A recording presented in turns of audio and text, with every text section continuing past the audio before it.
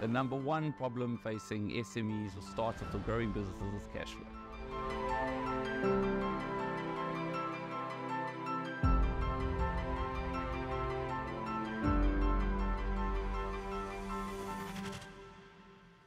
Good day, I'm Gary Richardson from Convey Systems in Durban, South Africa. We started in 2012 in a 100 square meter factory just down the road from this one. Uh, a year later, we moved into bigger premises. At that stage, I had both my brothers working for me.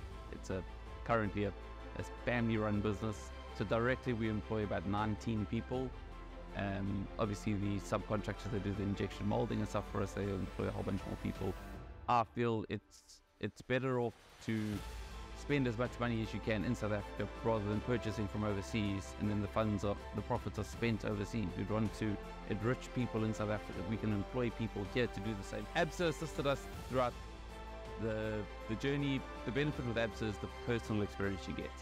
We I have the same banker today as a, they opened my account in 2012, um, and with that you get the benefit that the banker knows my business. They know my requirements the requirements of a manufacturing business are very different to a, a catering business or anything else that you can do. Um, and with the benefit of having one banker, they understand my needs. If I go to them with a request, I don't have to explain it every single time.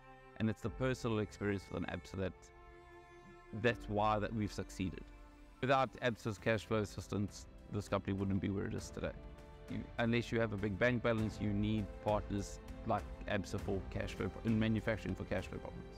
Uh, as it currently stands, I have no reason to change from ABSA. They do, they fulfill my business needs 100%. And like I said, the relationship is the key. It's if I have a problem or I need something, if I go to any other bank, I have to explain it to them and they don't have the personal relationship of knowing how the business works. Um, manufacturers are slightly different animal when you have to cash flow projects, you purchase the material, then you have to actually manufacture it, which takes time delays, then the installation, then the commissioning. So one project could be six to eight months, which could end up being a year before you see any funds. I think there's more to business than making money, and if you can have fun along the way and make a bit of money, I'm 100% optimistic that we can fulfill that.